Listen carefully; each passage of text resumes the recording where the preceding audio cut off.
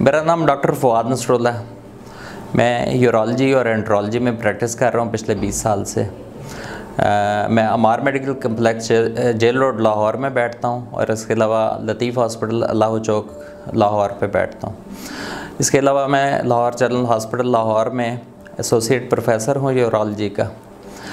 میرا ویسے تو میں یورالوجی کے سارے پروسیجر کرتا ہوں، جیسے کڈنی سٹونز ہو گئے پروسٹیٹ ہو گیا فیمیل یورالوجی ہو گئی پیڈیٹک یورالوجی ہو گئی۔ لیکن میرا ایریا آف اسپیشل انٹرسٹ جو ہے، وہ انفرٹیلٹی اریکٹائل ڈسفنکشن اور سٹونز ہیں۔ اس کے علاوہ مائکرو سرجیکل پروسیجرز ہیں۔ میں پہلا شخص ہوں جس نے لاہور میں P C N L start کی تھی یعنی کہ ایک ہول کے ذریعے سٹون کو باہر نکالنا۔ دو ہزار سات میں۔ دو ہزار گیارہ میں میں نے پاکستان میں پہلا ہالمیم پروسٹیٹ کیا تھا ہالمیم لیزر پروسٹیٹ اس کے علاوہ دو ہزار پندرہ میں میں نے پاکستان میں پہلا تھری پیس پینائل امپلانٹ ڈالا تھا اور ابھی بھی میں ڈال رہا ہوں ریگولر بیسس پہ۔ میں کولو پلاسٹ جو کہ ایک امریکن کمپنی ہے کولو پلاسٹ سرٹیفائڈ ہوں پینائل امپلانٹ امپلانٹیشن میں۔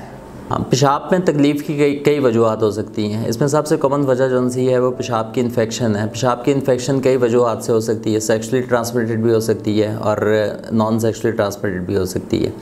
اس کے علاوہ جو لوگ کم پانی کا استعمال کرتے ہیں، ان میں یورین ایسٹک ہو جاتا ہے، جس کی وجہ سے پیشاب میں جلن کا احساس پیدا ہو جاتا ہے۔ ایک بہت بڑی وجہ پیشاب میں جلن کی انگزائٹی بھی ہے ٹینشن بھی ہے۔ جن لوگ جو لوگ ٹینس ہوتے ہیں، ان میں پیشاب میں تکلیف عام طور پہ ان کو محسوس ہوتی ہے۔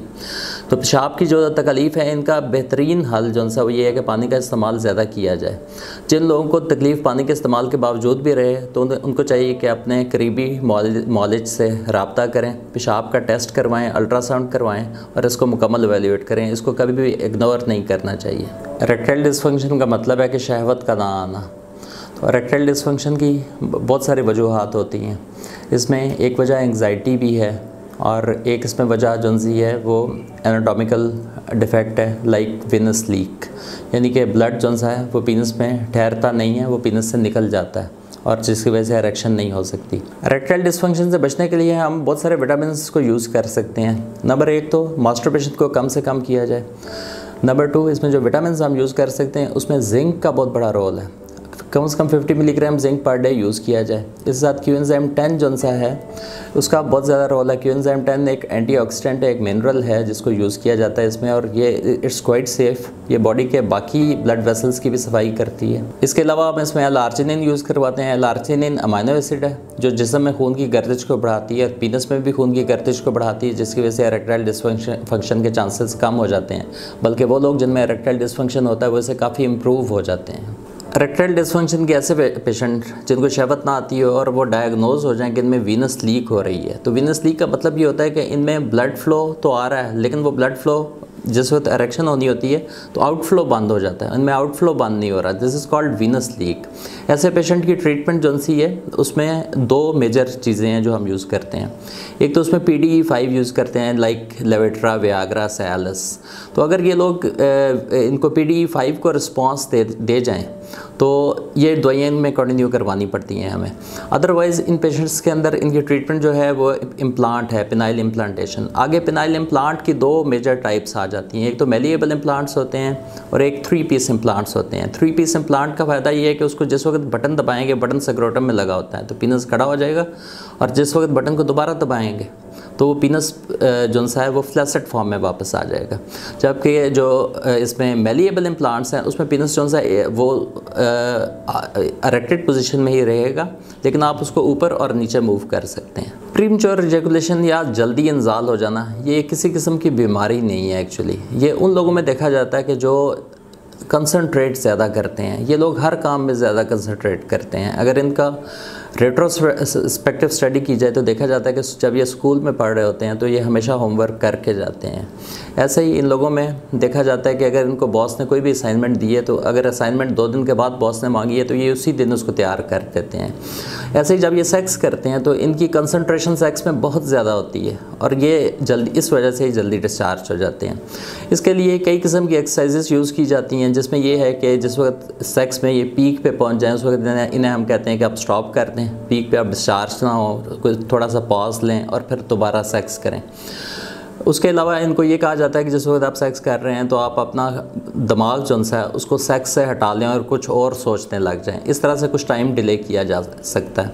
لیکن یہ ہر کسی کے لیے ممکن نہیں ہوتا۔ اس کے لیے جو دوائیاں ہم یوز کرواتے ہیں، وہ ایسی دوائیاں ہوتی ہیں جو برین کو تھوڑا سا سلو ڈاؤن کر دیتی ہیں۔ تو اس میں ایس ایس آر گروپ ہے جس کو سب سے زیادہ یوز کروایا جاتا ہے۔ ایس ایس آر گروپ کی کچھ میڈیسنز ہیں جو ہم استعمال کرواتے ہیں جو کہ بالکل بے ضرر ہیں۔ ان کا کوئی نقصان نہیں ہے۔ پین ان ٹیسٹس یہ بڑی میجر کمپلینٹ ہوتی ہے بہت سارے ینگسٹر کی خاص طور پہ۔ تو ٹیسٹیکولر پین جو سی ہے، اس کی بہت سارے کازز ہیں۔ اس میں ایک کاز تو ہے انفیکشن جو ینگسٹر میں خاص طور پہ دیکھی گئی ہے۔ سیکشل ٹرانسمیٹڈ ڈیزیزز ہوتی ہیں، اس کی وجہ سے انفیکشن ہو جاتی ہے۔ اور اس کی وجہ سے ایپڈیڈ مارکائٹس اس کو پرٹیکولر اگر میں میڈیکل میں نام دوں یعنی کہ ٹیسٹز اور اس کے ساتھ ایپیڈیڈمس جو کہ سپرم کنڈکٹنگ ٹیوب ہوتی ہیں، ان کی انفیکشن ہو جاتی ہے، جو میجر کاز ہوتی ہے پین ان ٹیسٹز کی۔ اس کے علاوہ ٹیسٹیکولر پین جو سی ہے، اور بہت ساری وجوہات کی وجہ سے بھی ہوتی ہے۔ جیسے کہ چوٹ لگ جانا ٹیسٹز پہ، کسی قسم کی چوٹ لگے اور ٹیسٹ سے کوئی بلیڈنگ ہو جائے ہیماٹوما بن جائے، اس سے بھی پین ان ٹیسٹز سٹارٹ ہو جاتی ہے۔ اس کے علاوہ پین ان ٹیسٹس کی ایک بہت بڑی وجہ جو سی وہ ویریکوسیل ہے. ویریکوسیل کا مطلب ہے کہ ٹیسٹس کی جو وینز واپس جا رہی ہیں وہ پھول جاتی ہیں اور ان کے والو خراب ہو جاتے ہیں اور ٹیسٹس میں فلو جو سا بلڈ فلو جو ٹیسٹس سے واپس جا رہا ہوتا ہے وہ ریورس ڈائریکشن میں فلو کرنے لگ جاتا ہے.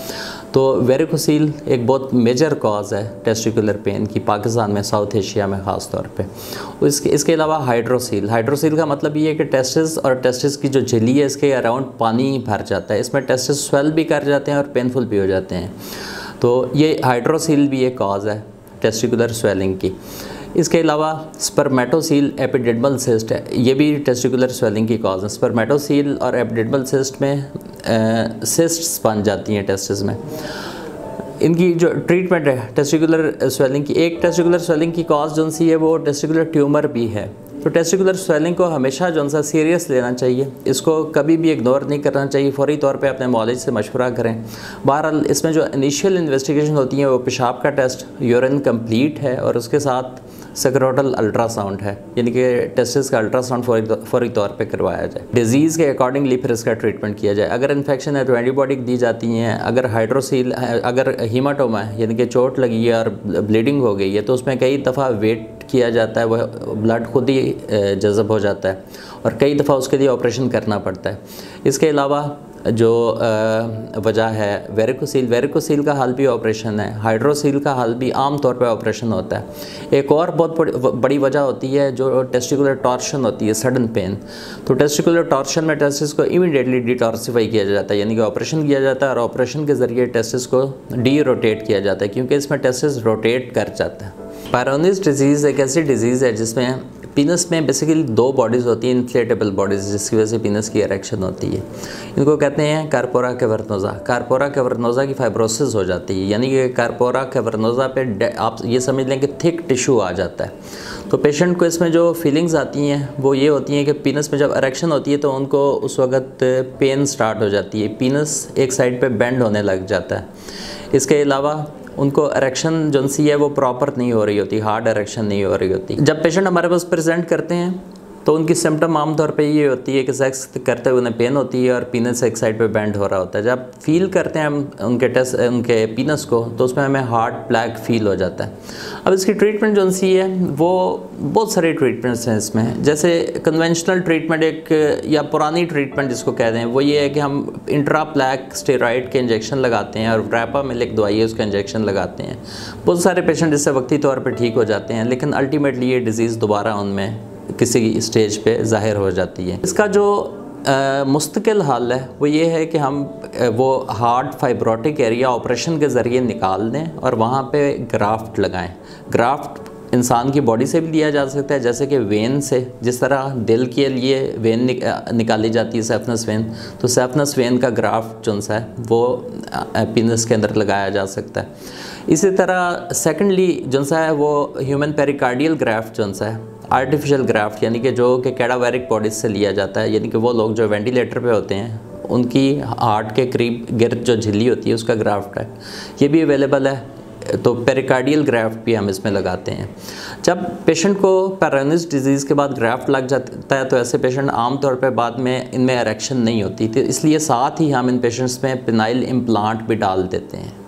پینائل امپلانٹ دو طرح کے ہوتے ہیں، ایک میلیبل ہوتے ہیں جو کہ فکسڈ امپلانٹ ہوتے ہیں اور ایک تھری پیس امپلانٹ ہوتے ہیں، جن کا بٹن ایک چھوٹا سا بٹن جو سا وہ سکروٹم کے بیچ میں رکھا جاتا ہے۔ جب وہ اس بٹن کو دو دفعہ دباتے ہیں تو پینس اریکٹ ہو جاتا ہے اور جب وہ اس کو دوبارہ ایک دفعہ دباتے ہیں تو پینس دوبارہ اپنی فلیسٹ فارم میں واپس آ جاتا ہے۔